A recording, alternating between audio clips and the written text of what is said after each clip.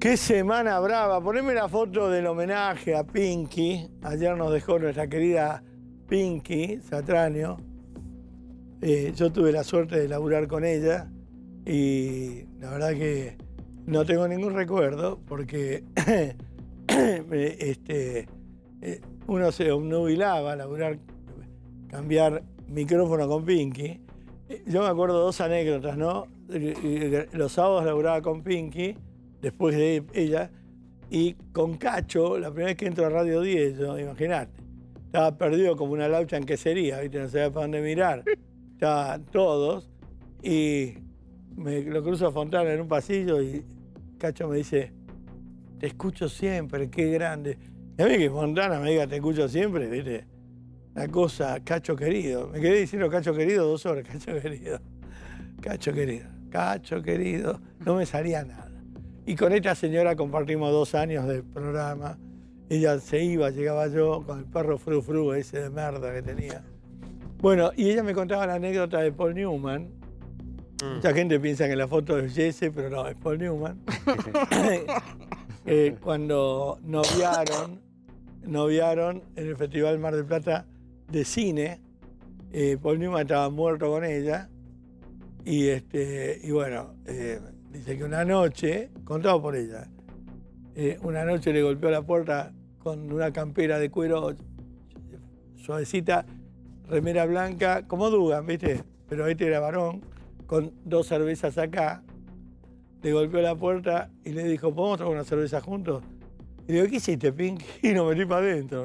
Claro, mira que te vas a perder a Paul Newman. "Ah, Un, un bombón. Bueno, esta señora tan simpática, tan buena, este, me acuerdo que la, la última vez que compartimos mucho tiempo fue cuando murió Roberto Galán. Nos encontramos en el velorio, ¿viste? Como los viejos. Y nos fuimos al apartamento de ella con un una productora a tomar un café, un departamento lleno de plantas, muy lindo, en planta baja, frente al Frente botánico. al botánico ahí, sobre República de la India. Bueno, te, te quiero, Pinky. Con Pinky se va una de las grandes personas.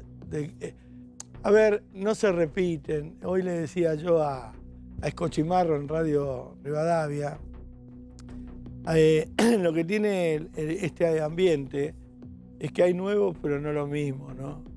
Entonces uno vive rememorando. Es lo mismo que le pasa a los peronistas con Perón. Votan cantidad de, de estos inflamados, de estos delincuentes, creyendo que el general va a venir por... No, el general no vuelve más, está muerto y va a estar muerta, desgraciadamente, y todos los truchos y los delincuentes en nombre de él siguen. Acá no es lo mismo, pero hay muchos pibes que hoy, por hacer una novela con Suar, no te dan nota y no te saludan, y esta gente se paraba a hablar dos horas con vos y te preguntaba por tu vida, y, eran gente grandísima. Yo, gracias a Dios, me crié con Pinky, con Pacho Guerrero, que siempre lo nombro a Panchito, con Cacho, con Hugo Guerrero Martínez, con todos los más grandes, Fernando Bravo. Conocí a todos estos grandes y por ahí con un poco de suerte que no había COVID me contagiaron un cachito así de talento, una uña de talento de ellos yo puedo tirar toda la carrera. Así que gracias Pinky, un aplauso grande para la señora eh, por tanto y tanto que diste a la televisión argentina. Hablando de esta señora que fue tan grande, hablamos de una señora, la vieja dama indigna, ¿se acuerdan que yo estoy esta semana? Esta semana nos pasaron muchas cosas, hubo una sentencia contra la señora este, por, por robo, ¿no? La condenaron. A la señora aún no le cae la ficha. La señora todavía, ¿viste? Esto me hace acordar, eh, está bien, es tal cual, me hace acordar a los duelos. Cuando se te muere alguien, los primeros días, como viene la familia, uno te trae una torta, otro te hace un asado, se quedan, duermen con vos, no sentís la ausencia, hasta que un día la gente te dice, bueno, ya está, este, me tengo que ir a casa que los chicos empiezan el colegio, me voy a casa que mi hija viene y vos te quedas solo con tu soledad y el duelo. Eso le empezó a pasar a esta señora, porque esta mujer no vivió ni el duelo del marido, porque con el duelo del marido venía el usufructo de ella, y pasaba a ser la primera dama, pasaba a ser presidenta absoluta, la ventaja de que la muerte del marido iba a tapar dos años de corrupción y la ventaja que en nombre de él, ¿se acuerdan? Decía él, la fue pichuleando y ganó de nuevo la reelección. Entonces, este, pero esta vez lo que se murió es ella. Se murió ella, el liderazgo de ella. eh, fíjense que en dos días envejeció 20 años. Hoy la señora se empezó a dar cuenta que más allá de los alcahuetes en el CFK, los obsecuentes y la mala gente que la rodea, que usa la pobreza y el hambre para este, que le bailen y la distraigan, que eso es una mierda, ¿no? Que lleven gente que no tiene para comer, como el sinvergüenza de Delía, que el otro día llevó a Comodoro Pi, gente pobrecita que le colgaba la carne de flaca con musculosa, 80 años la viejita con musculosa, Cristina te quiero, gente muy pobre. Y cuando yo veo a la gente muy pobre que dice Cristina te quiero, les recuerdo que hace 20 años que está en el gobierno de Cristina y que ellos hace más de 20 años que son pobres, pero esta no le cambió el estatus. Les tiró unas monedas.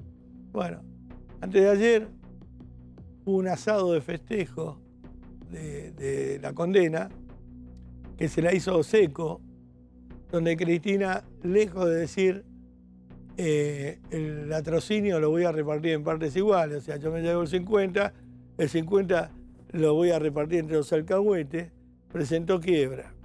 Dijo, muchachos, no hay una moneda, son todos mariscales, ahí está la fábrica, hagan una cooperativa, la fábrica de corrupción. Arréglense como pueda, yo me quiero retirar. Es una buena estrategia para no dar explicaciones, porque no se va a retirar. Para no dar explicaciones y dejar que cada uno se arregle con la guita que pudo hacer. Esto más o menos es el panorama en la Argentina. Bueno, en el CFK los alcahuetes fueron, llevaron 300 hambreados mínimos por fábrica. Hoy decía que lo mínimo que tenía que llevar cada empresa son 300 hambreados, esto a los boneros, para que le baile, le toquen el bombo, le digan que es divina y le sigan mintiendo a su graciosa majestad, que es como este, el rey desnudo. Le están diciendo que es fenómena, que la quiere todo el mundo, en realidad todo el mundo la desprecia por chorra y acá en Argentina hay un 80% de los argentinos que saben que no es fenómena y que ahora hay que ir por más porque no solo tiene que devolver la plata que no robó, sino que hay tres, cuatro causas esperándola que son tan o más graves que la que la juzgaron. A su vez los fiscales, que son héroes, van por más, por una causa más, ¿no? que es eh, asociación ilícita. Exacto, el fiscal va a apelar. Que ya tendría que haber sido juzgada, pero parece que a los jueces tanta justicia les provocó una sobredosis y no sintieron el coraje para poder jugarla por la dos causas y se cagaron en el último tramo que de un juez solo. Hay que jugarla también por eso. O sea, ahora le vienen todos los procesos de juzgamiento y como todos saben en la política, cuando te ven herido, todos te pegan el tiro en la nuca para terminar de ser ellos. Cristina en caída libre, por más que junten 100.000 personas en la puerta del CFK, no, no hay nadie que esté más sola del mundo que ella, no hay nadie que esté más jugada que ella, no hay nadie que esté más desprestigiada que ella, y no hay nada que esté más destruido que la cámpora. Esa es la realidad de lo que pasó hoy y lo que va a seguir pasando. Las noticias se van a ir sucediendo, saben que pierden, saben que la gente sabe que son corruptos. Hoy cuando venía para la radio, un pibe a la altura de Olivo.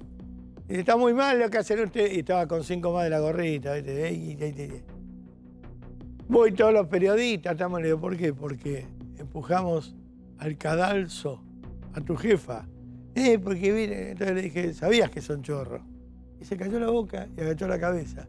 O sea, parece que están sintiendo el golpe. Porque antes tenías que parar, bajarte, explicarle, mira, yo creo que la causa te sube. no hay prueba, loco. No hay prueba. Hoy simplemente con decirle condenada por chorra, simplemente con eso, palabra que yo no me gusta, pero es lo que hay que decir.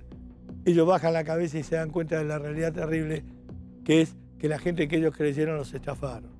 Los usaron de forros como los usaron en el CFK hoy para aplaudir a su graciosa majestad. Tal vez es bueno porque esto es un resurgimiento del peronismo ortodoxo que se alejó del kirchnerismo y esto es el final de la cámpora, que fue nada más y nada menos que una banda de sinvergüenzas para quedarse con el país capitaneado por Néstor Kirchner.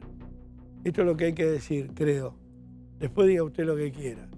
Pero a lo mejor este fin de semana largo empezamos a respirar un airecito tibio de libertad.